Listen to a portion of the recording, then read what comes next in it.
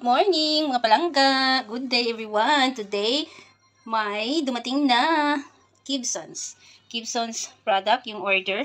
Mga gulay, prutas, and mix. So, samahan niyo ako mga palangga, mga kauswag sa unboxing natin ngayon. Taran! mga gulay. At ito ay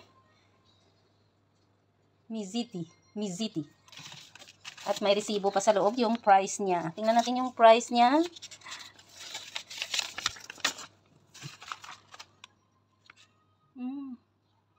Magkano ba yung price? Ano man nakain? Ah, 200. Yung amount niya. Oh, 200. Ito yung dalawang box. Is 250. Yes, yun yung price niya. So, tingnan natin kung anong mga laman ng 250 dirhams. So, ito is mga gulay. Coriander. Sa coriander to siya. So, good day. Magandang araw. May yung adlaw dyan sa lahat. At ito naman yung armila. Kale yata to kale. Kamusta ang lahat dyan? So, samahan niyo ako si Palangga ni Fatalaman. Kung bago pa lang kayo sa channel ko. At ito ay Ruka. Hindi tayo nito familiar sa mga leaves leaves na to, sa mga gulay na to kasi hindi ito taga Pilipinas na mga gulay. so, but super healthy ito siya. Hmm. At kung hindi pa kayo dyan, nakasubscribe sa channel ko, please subscribe para updated kayo sa ating mga bagong video at maging amigahay, amiguhay tayo. Yes! Wow! Mm, super healthy. Ang gaganda ng ating mga purutas, mga deliver ngayon. Kusa, it's zucchini. Yeah, zucchini in English, but in Middle East, Arabic, they called it kusa. Super healthy din yun siya. Grabe. At saka, of course, di mapapahuli yung ating broccoli. Super fresh din. Hmm? Fresh from the farm. Hmm? Bagong-bago. Oh. Diba? At ito yung ating cauliflower also. Sobrang, ano din siya, healthy. Yes. Itong ating Mm, bell pepper. Yung bell pepper natin, grabe, sobra din to siyang uh, masustansya. Lahat masustansya, no? Hmm. Panglaban sa mga sakit-sakit at pampalakas ng ating immune system. Yes, mm, ang ganda ng bell pepper, oh. Ganda ng kulay niya, red na red. Hmm? Ang laki, red na red. So, kailangan natin kumain ng mga dark fruits dark food and green, green leaf, leafy vegetables. Yeah. So, ito yung ating mga unboxing, yung isang box natin. So, tingnan natin ang isa pang box, kung ano yon yung second box natin. Yeah. So, tingnan natin mga palangga, mga kauswag, yung second box natin, yung pangalawang carton. Oh, wow. So, ito naman ay cooking cream, tsaka yung blueberries, banana, yung ating biologica di natura, o di ba? yung ating spinach, spinach. Yun. At saka yung ating egg, fresh free range golden irish. Yan yung ating egg.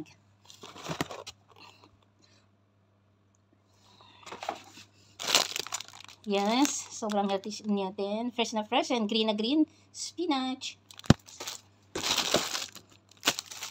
Hmm, ating saging. Hmm made in Ecuador. Ang saging natin ngayon, made in Ecuador, oh. di ba? Hindi pa siya masyado luto.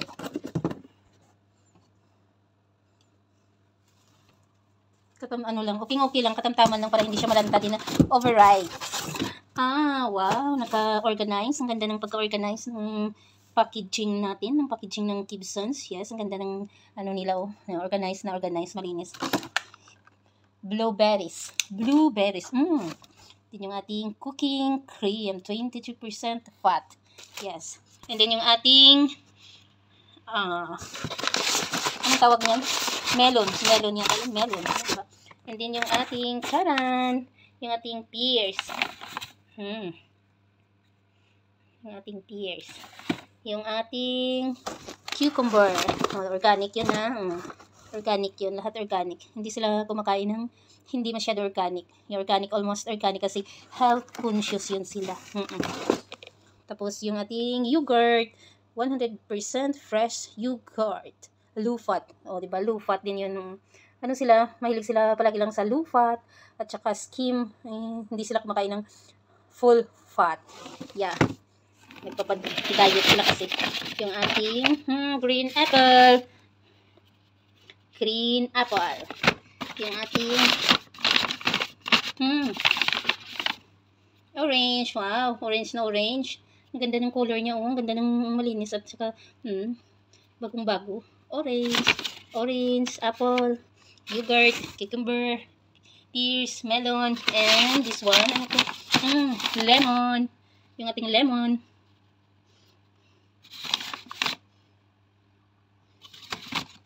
Yung ating, kasi dito, yung mga tao dito, sa ibang bansa, hindi sila makakain pag walang lemon. Everyday, may lemon yun yung kinakain nila everyday. Kasi vitamin C at saka nagpapadiet at saka antioxidant na din yung lemon. Doon sa ating kalamansi lang sa Pinas, yes. Kasi medyo mura. Kasi itong lemon is mahal siya. Doon sa atin meron din lemon pero mahal yata. Tsaka yung ating apple, red apple, red apple, green apple, apple pa din. So, an, an apple a day, take a doctor away. Like that. Tama ba yun? isang apple daw sa isang araw ay ang mapalayo ka sa doctor. Doctor. Yun. So, diba? Yun yung ating mga delivery ngayon. Mm. Yes. So, thank you guys. I love you guys. And halong! This is your Palangga in Kauswag, Ilong Gagwapa nin Fatalaman, basta Ilong Gagwapa, and OFW. Soon now, hugasan natin yung mga prutas natin na dumating, yung mga order na mga prutas na in-unbox natin kanina. Hugasan natin guys. Para ilagay natin sa lagayan niya after para pag kumain is ready na siya. Tapos yun para na din bago natin siya i-keep ilagay sa ating freezer sa ating refrigerator is malinis na siya. Free from any bacteria na siya. Mm -hmm. sa panahon ngayon kailangan natin mag sobrang linis and mag-ingat tayo. Para naman malayo tayo sa mga sakit at sa malugang sakit na dulot ng mga marumi at mga bakterya. So, ngayon, ang ganda oh. Hmm, fresh na fresh oh. Ang color ng apple is sobrang ano siya oh. Sobrang red na red. Hugasan natin under running water. Yeah. Para malinis na malinis. Para healthy healthy yung kinakain natin. Siguradong siguradong sure and sure healthy and very clean.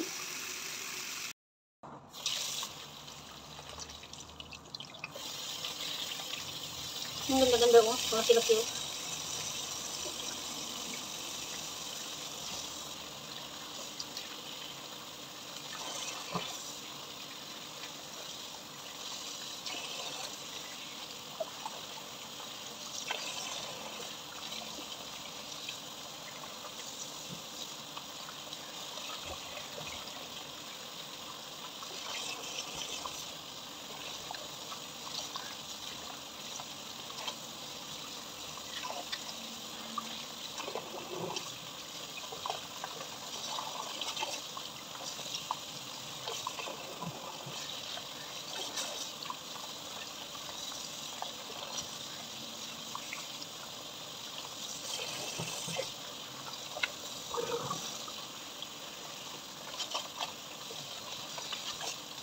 kulong-kulong, oh, yung apple, oh.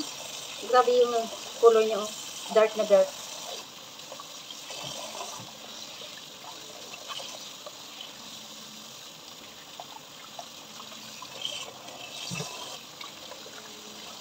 Kinukunan ko ng mga sticker.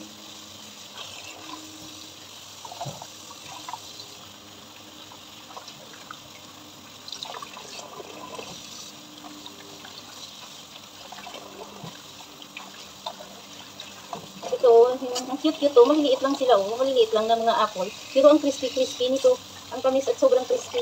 Maliliit lang siya, baby, parang baby apple lang siya oh.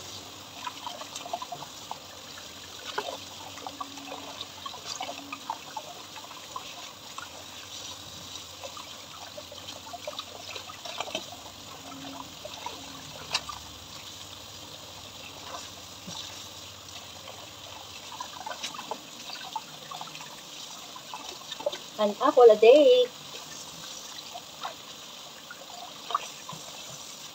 An apple a day keeps the doctor away. Yes. Ito tears naman to siya o tears. Tiras. Ay. Tiras. Kanta, kastanyas ng marami. O diba? Napasa, napasingin kayo eh.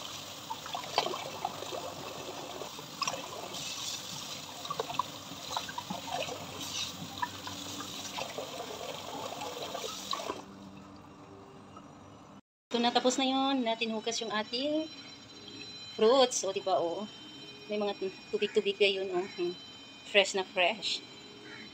Ang saya nila kasi nakapaligo sila, malinis sila, na naligo na yung ating mga prutas, o, diba? Fresh na fresh. Refreshing.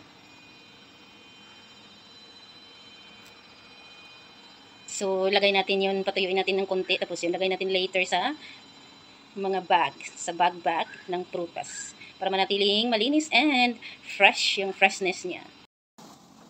So ngayon guys, ilagay natin sa mga bag-bag ito. Oh. Yun. Para manatili yung freshness niya. Yes.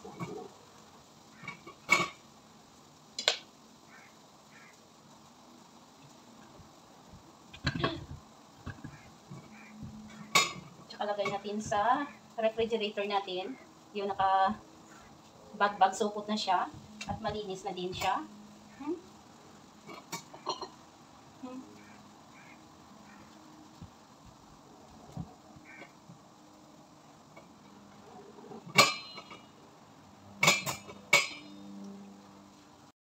Dito natin ilagay sa drawer ng ating